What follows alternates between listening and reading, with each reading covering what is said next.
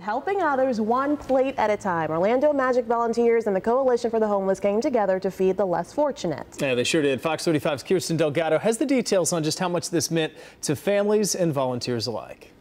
Today's not about us, it's about the people who we're helping and hopefully providing them a, a, hot meal today. The Coalition for the Homeless and the Orlando Magic teaming up to serve over 700 men, women, and children today. General Manager of the Orlando Magic, Rob Hennigan, says it's heartwarming. It puts things into perspective. You know, there are a lot of people in, in this community who, who need help. The Orlando Magic partnering with the Coalition for the 22nd year. Our arena is, is uh, walking distance from here. And so you're talking about uh, having your footprints in your community and being able to touch and help those around you.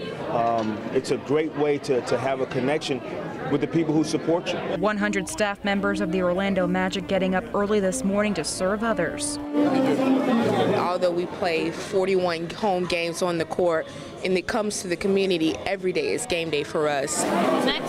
Volunteers saying they're grateful to work for an organization that gives back. They don't have access to food regularly. It's perspective, and it uh, gives both of us that perspective to be so incredibly grateful and thankful for every little thing we have. So to be a part of this day for them and to provide them with that happiness on Thanksgiving, it means everything. The Valenti family fell in hard times after a job loss, and they say the coalition has been with them every step of the way. They provide meals first in the morning, uh, dinner. Uh, we need anything for the baby. You know, they're just great clothing, hygiene, diapers, formula. They're always there for us. No matter what we need, they always help us out. Reporting from Orange County, Kirsten Delgado, Fox 35 News.